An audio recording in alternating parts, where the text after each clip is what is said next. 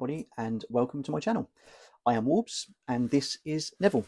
Uh, Neville is my 2006 VW T5 van, um, aptly named Neville by my nine-year-old son. Um, do not ask why.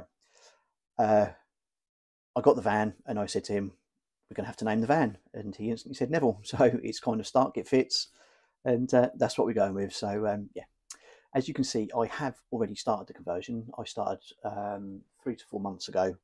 Um, I wish I had started documenting um, my progress from the start, but this is the first time I've ever done anything like this, um, as in recorded myself, put a video on YouTube.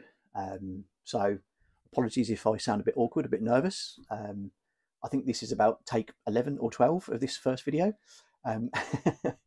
so uh, yeah, but no, I would. Uh, I want to document my progress and um, my ventures in the van.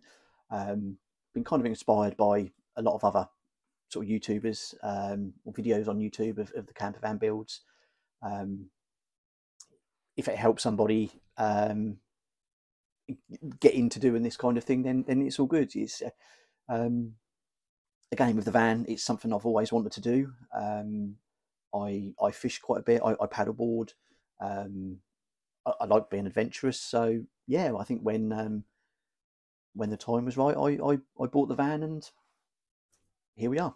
Um, so yeah, as, as I said, I've, I have already started the conversion. Um, I've done things. Uh, all the walls have been insulated, um, ply lined insulated, sound deadened, and carpeted with the four way stretch carpet. Um, I have this one to do, which is my plan to start today. I'm going to do this one today. Um, fitted windows all round the van. Um, the back driver side window um, is a dummy window on the outside, as that's where my my units are going to be up in that corner. So it's pointless putting a window in there. So uh, obviously my electrics are going to go up on this this section as well. So dummy window on the outside, uh, panelled on the inside and inside. Um, uh, fit a new new ply floor, which I've fitted the uh, the sort of wood effect lino to. Um, I've had my my fishing trolley in here, which has got uh, sort of spiky feet on it, which has indented the uh, the lino a little bit. So I'm probably going to change that at some point in the future. I am going to put a real wooden floor down. Um, this stuff is fairly soft, and I think it will tear quite easily. So um, wooden stuff will, I think, will last a lot longer and um, essentially look a lot better. Um, fit the T5.1 Sportline front end um, as it had just the standard uh, T5 front end on, um, a set of the Van Slam coilovers. Um, I think it's about 75 to 80 mil. We lowered the van. Um, being a T32, it sat quite high. So, um, and the ride when everything, when there's no weight in here, the ride was quite bouncy, really bouncy. It was like being on a boat. Um, so, yeah, the coilover sorted that right out. It's, it's, it's nice to drive now. It's really nice to drive. Um, I have just recently ordered all my units, my kitchen units, and uh, and everything, which are going to be in a um, graphite grey colour to sort of go with the, the, the, dark sort of grey theme that's going on in here. Um, I don't know why I went with the dark grey theme. I just think it looked really nice, being a black van. It kind of suited it. So um, yeah, I'm going to give a, a, huge, huge thank you to Northern Rose Campers um, for their help with with the units. Um, I'm quite a distance from them, so I couldn't travel up to collect the units or have them fit them. So they're sending me down uh, the complete package in a, in flat pack.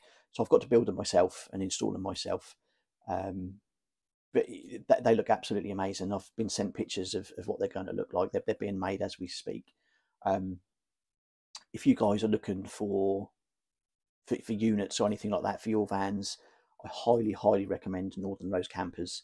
Um, check them out. Have a look on their website, www.northernrosecampers.co.uk. Um, I think that's correct. Um, if it's not, I will put the correct website address in the comments. Um, but Kev and Andy are the guys that have been been helping me, and really, really good. Um, very, very helpful.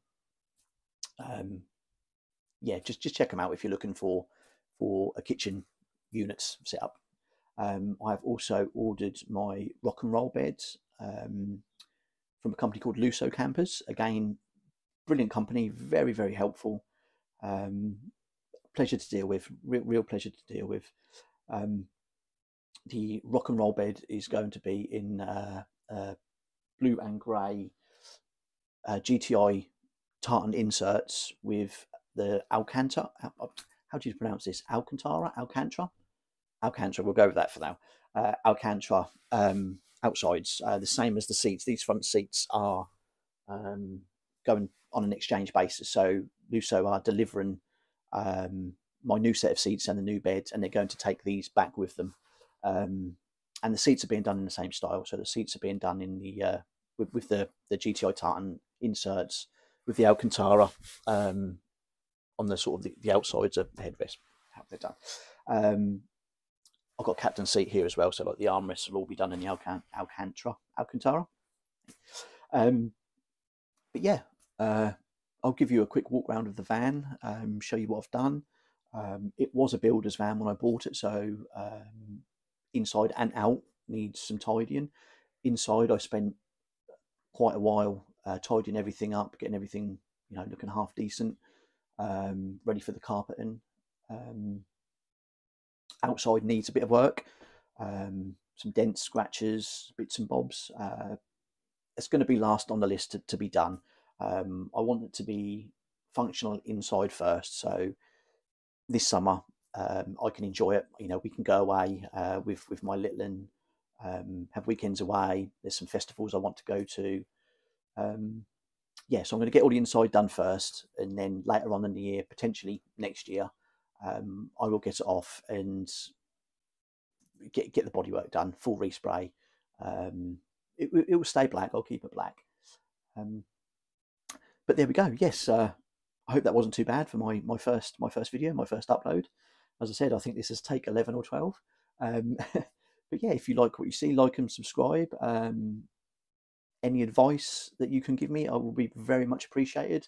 Um, criticism as well. Um, you know, it's this is the first time I've done a van conversion, so um, I'm kind of playing it. I'm winging it. Um, watching a lot of YouTube videos uh, on forums, on on Facebook pages, getting getting help and advice.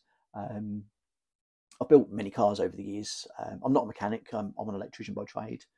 Um, so yeah, you know, any any help, advice, criticism, far away. You know, I'm I'm happy for it. So uh, yeah.